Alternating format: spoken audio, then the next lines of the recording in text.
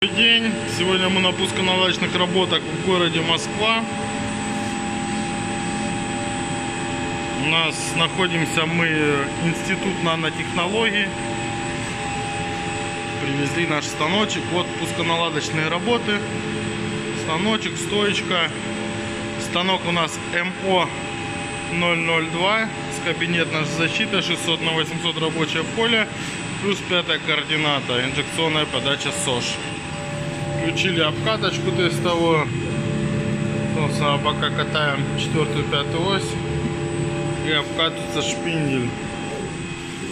Здесь вот у них такое мини производственное помещение как мне ответили для опытов.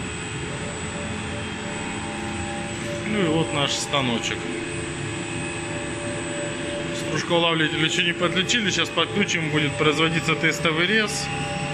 Я думаю, на этом пусконаладочные работы закончатся.